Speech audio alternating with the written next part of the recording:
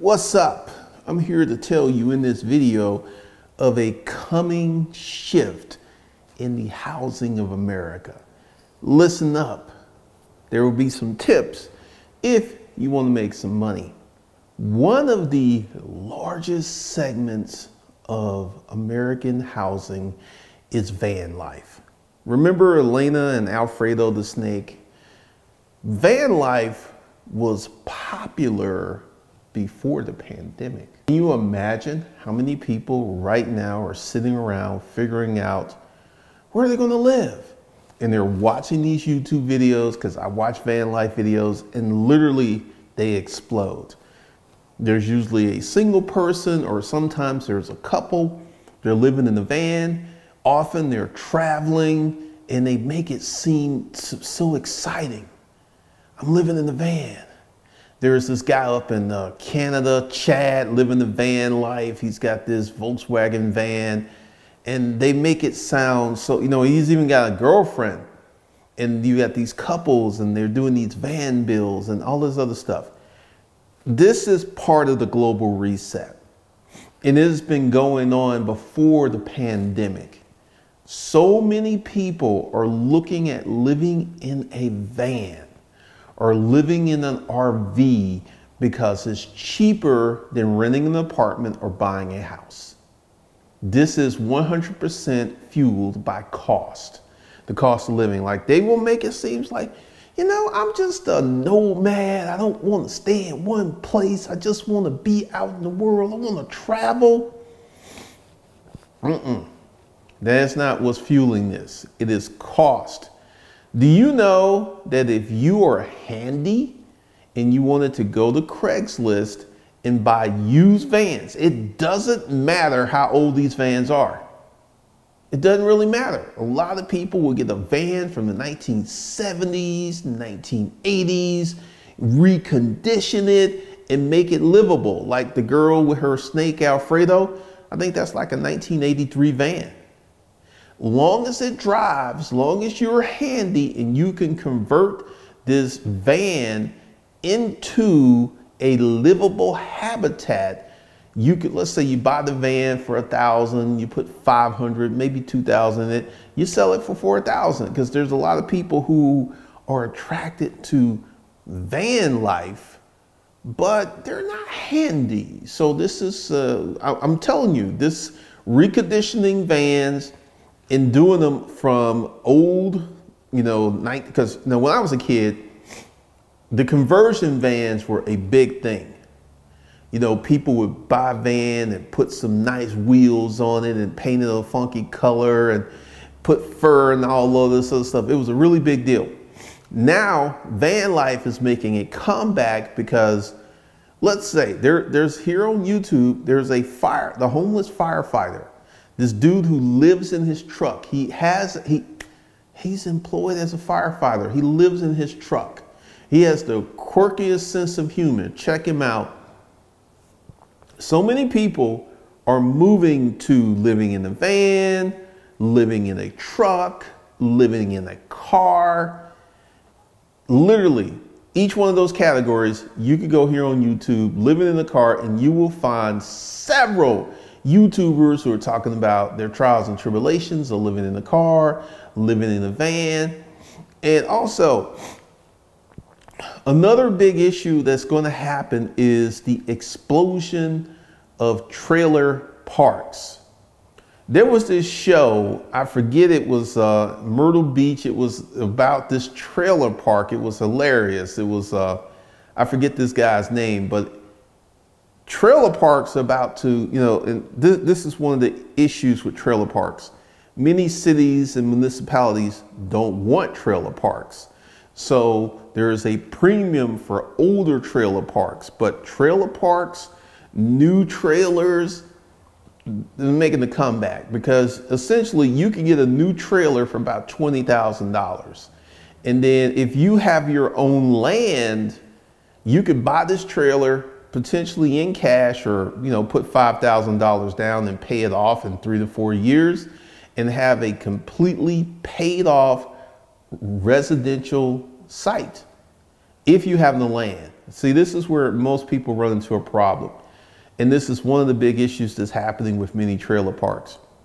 The land is more valuable than the rent that the people who have their trailers parked on this land. So a lot of times that the owner of the land is like, everybody got to go. I'm evicting y'all because I want to build this hotel. I want to repurpose the land and make more money so they will kick them out. So if you're one of those people who want to do the trail of life, you need to have your own land. It's going to make a huge difference because you have your own land. You don't have to pay rent. But I'm here to tell you that in the coming years, you're going to see the explosion of van life, trailer life. On my Facebook page, I was posting some articles and things about people living in trailers. And to me, it is not the best situation because you position your children for generational poverty by living in a trailer. Now, all trailer parks are not the same. There are some that are nice, I used to live in Stone Mountain, Georgia, and there was a trailer park around the way that was actually not too shabby. The trailers weren't like tightly, they, they actually had a little space between them, and apparently they had newer trailers. But these are the coming decisions that are going to make. So if you could be a person who can buy a trailer for two or three thousand dollars and flip it for eight, like I'm telling you, reconditioning of vans, buying and flipping trailers. This is going to be a lot of money for the people who are participating in these marketplaces because the demand is going to be sky high. I want you to think there are people who got caught up in this pandemic and these people got punched in the face. They were one day they were working, the next day they weren't working. And then all of these bills, and they're, they're starting evictions again. So there's a looming eviction crisis. There are many people who are two or three months behind on their rent and they're about to be evicted. So what does this do? It's going to make it hard for them to rent some other place and they don't have a job.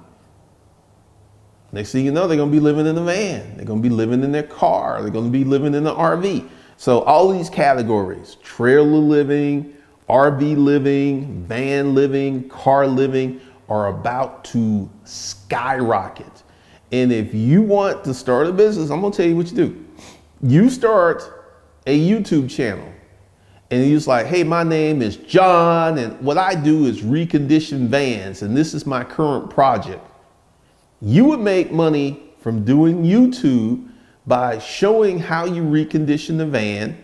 You would buy the van, I mean, seriously, you, you could go ahead and do the whole process here on YouTube, buying the van, painting the van, fixing the van, turning the van into a livable habitat. And like, hey, this was, hey, this is John the van reconditioner. Today, I got for sale this. Va- it will be sold within hours of you posting the video. Hours hours. I'm, I'm, here to tell you that if you want to get into something, you want to make some money, this is a, this is a going to be a lucrative side hustle for you. And see, it, it just won't be the bargain basement people. There are people who are in a good who, who got 30, 40, 50,000 dollars in the bank who are thinking about living in van life and they don't want to live in the old rundown van. They will spend this money on a new uh, Sprinter, a Mercedes-Benz Sprinter van. And you, I mean, you could you could you could start off with the used vans, get your capital up to where you can get to a Sprinter van, and you will be able to buy a Sprinter van, convert it, and sell it for 50, 60,000. Because see, there, there's going to be levels to this. There's going to be people who are going to be like, only got four, only got $6,000, and they're gonna buy that van from you, which means you gotta be very careful how you buy your vans. But there will be multiple levels in this category. Uh, I've seen people like this Travato, this Winnebago Travato, it's a Dodge Ram van, Dodge Ram van. It's like a hundred thousand dollars. A hundred thousand dollars. So you're gonna have multiple buckets in this category.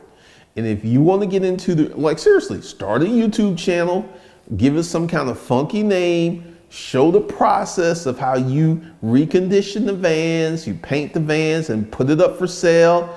And then you can even do a video like today, the van Sandy has a new home, John and Carol. And John and Carol, uh, what are you going to do? Oh, well, we're going to cruise the Pacific, you know, we're going to pursue the, the West Coast. We're going to hang out on the beach. We're going to do this. We're going to do this. I'm serious. You think I'm kidding. If I wasn't so deep in what I am doing, I would do this channel because I'm telling you, you're going to get YouTube money. You will get YouTube money because you will get a lot of views and you will get everyone who creates products for vans. Like, hey, today this is Chad from Living the Van Reconditioning Life. And today I want to thank our sponsor, COVID, COVID, get it? COVID refrigerators. Everyone that makes refrigerators, that makes power plants, that make battery packs, these can be your sponsors. Literally, you can make more money from the sponsorship of your van conversion channel. I'm surprised there is no one that's done this because I'm going to do a little search on this but literally, and you can reach out to these manufacturers and like, hey, I have a YouTube channel and what I do and tell them, and they're gonna be like, oh, gassed, really? So you could you could be sponsoring the batteries, you could be sponsoring the solar panels on top of the vans, you could be sponsoring, hey, today's video is brought to you by Sutton Sinks. This is the perfect little sink, doesn't take up a lot of space the, the, the ways that you can make money from this are endless because you would make AdSense money because I'm telling you, just do a little research and look at these van life channels. And then you will, and then also you're selling a product you could go ahead and like, hey, this is the beginning of our new product. We just bought this van, went on Craigslist, got the, and you can be 100% transparent. You could talk about how much you bought the van for. You could talk about how much, what cost you put into reconditioning the van. And then you can also get YouTube money, sponsorship money, and money from selling the van. This can be a six figure business first year. But once again, you got to be kind of one of those van life people. Van life people are different. I mean, it's a different kind of person that will live in. I ain't never living in no van. I don't even stay in less than a five star hotel. So I'm, I'm not living in a van. It, it ain't going to happen.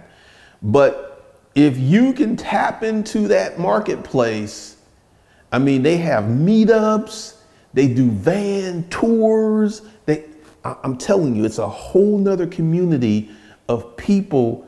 And some of these people are just like, I want to be free.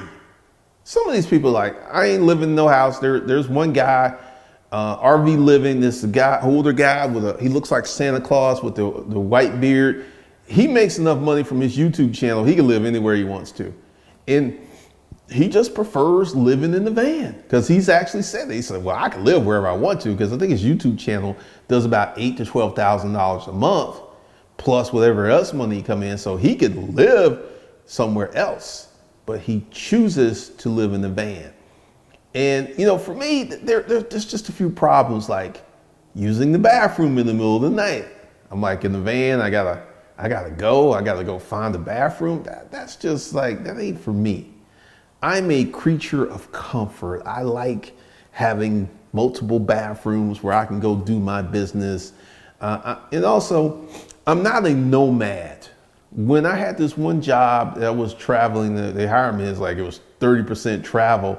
When I got the job, it was like literally 70% travel, and that just broke me. I didn't like living out of a suitcase. I did not like just living that kind of life.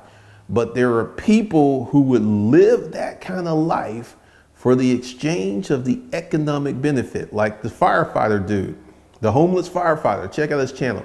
He saved up $85,000 in one year. What he did is he lived in his truck and he worked all the overtime that he could. And he's out in California, so he's making a, a good coin. But once again, you're going to see the explosions. I mean, I'm like right now I'm watching videos of people living in trailers and trailer parks and that's a whole different mentality because there's this one trailer park it's completely run down there's um, cars that aren't working all over the place it, it's it's not paved and there's these little picky nanny kids running around it and that's not one of the things. And if you want to go through the trials and tribulations of developing a new mobile home park. Like literally, if you got some money, I mean, you, if you can go out and buy you land, get you seven, 10 acres, go ahead and run the water and the power through this and go and literally just put some, you can buy you a trailer for $5,000. So if you had a hundred grand and you spent like X amount on um, the land and you got yourself about 20 trailers and running that on Craigslist, you would have renters immediately. Trailer rent, 500 bucks. So you got 20 trailers at $500 a month. That's $10,000 a month. Literally, if you spend a hundred grand setting this up, you would get your hundred grand back within one year and at this point, it becomes a cash cow. This is something that I'm thinking about doing because it's going to be so accessible. You know, it's going to be a lot easier for someone to come up with $500 per month versus 1500 bucks per month. And also for many people who are making like minimum wage, what is minimum wage? 750 an hour. So they work 40 hours, they get 280 so literally two paychecks would pay their rent. I mean, it's something I'm thinking about because I got to look into it because if you go out and you find the right land that's accessible, because it can't be way out yonder, you know, but if you can get some land, go ahead and get it set up, have pads, and put in some nice trailers Matter of fact, I need to go ahead and do some research on the cost of trailers because you can get a used trailer for two to 5,000 bucks. So go ahead and get this trailer in there. And if you want to make more money, you just furnish the trailers. Rented, furnished trailer. You can get 750 per month. Easy. And I guarantee you, if you built this, this land and got you 20 trailers, you will be rented within the first month because there are people who are standing in line for cheap rent, who are looking for cheap rent, who are desperate for cheap rent, who want that cheap rent. So I just gave you two business models. One, you can start with 2,500 bucks. The, the second one, you're gonna need a little money. You're gonna need about 50 to 100K, but you get your money back within a year or in a year and a half and then it becomes a cash cow. You got like $10,000 a month coming in automatically. And also, like, I don't know if y'all guys know this. I used to own the boarding house. You're going to have a different kind of clientele. Just put it out there. Uh, it's, it's a different mentality, but these are going to be growth industries for the next decade. Like do a little research. Don't take my word for it. Check out van life, car life, RV life, and start doing a little research on trailers. Because, you know, there's a double wide. And like if you were if you had a little some finances and you created this trailer park, or you can actually, once again, what you can do is buy the land, buy the trailer, and then put someone on a note. Let's say the land costs you 3000 the trailer costs you five, so you got $8,000 and it's like, hey, I'm gonna sell this land and this trailer to you for $27,000 on the payment plan. And I'm gonna put you on um, maybe a three or four year payment plan. So your first year, you get your $8,000 back. Your second year, you're in the profit. Your third year, in your profit. There are so many ways to get, do this because I'm, I'm telling you that the marketplaces for these products are developing like crazy right now. So you can buy a trailer, buy the land, and then sell the trailer to whoever wants it on terms. I'm telling you, th- these are going to be growth industries because people don't have no money, man. People going to be living in trailers, people going to live in cars, people going to be living in RVs, and they will deal with the inconveniences of not having a lot of space, not being able to go to the bathroom. Well, also, if you wanted to get into this reconditioning, because you know, I haven't checked out RV sales because there's many people who were in a position to buy an RV. So I need to do some research on that. But I'm telling you, van life, trailer life, RV life, car life, it's about to boom. And if you got a little money and you're a little handy, I'm telling you, this is a good way for you to make some money. I'm telling you right now, go on Craigslist, look up old vans. And once you go ahead and get your capital base up, you can buy a Sprinter van, recondition it. And I'm talking about a $20,000 van and put $10,000 in it and sell it for $50,000, $60,000. There are people who are doing this literally around the world. Van life, car life, trailer life. You can get in an action because I'm, I'm really thinking about doing this mobile home thing because it would be a way for me to get into real estate and not spend a lot of money. Because literally, I could go out and get 20 or 30 of these land purchases and trailer purchases and sell them and literally have 30 people paying me monthly notes. First year I get my money back. Second year I'm in the profit. Third, because I'm telling you, this is what's happening in America. Like Donald Trump, Donald, Donald pissed, Donald upset because folks didn't show up to his rally. Donald, the Rona is real. I know you want to pretend that the Rona ain't real. You know, staff getting sick people on your campaign getting sick. The Rona real. The Rona is real, man. And one of the things that you, you got to understand is this thing is real and the economic impact is real.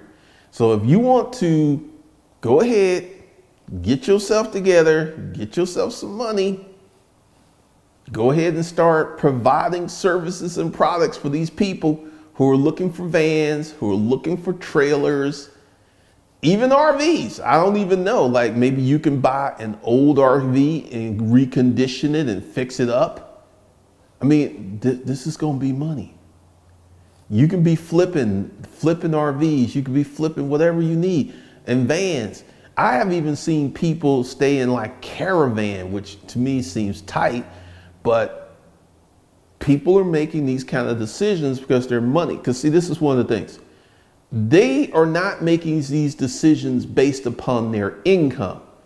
Their income is dictating their lifestyle. And we've talked about this. You don't want your income to dictate your lifestyle. You want your mental and desires to dictate your lifestyle, so you raise your income up.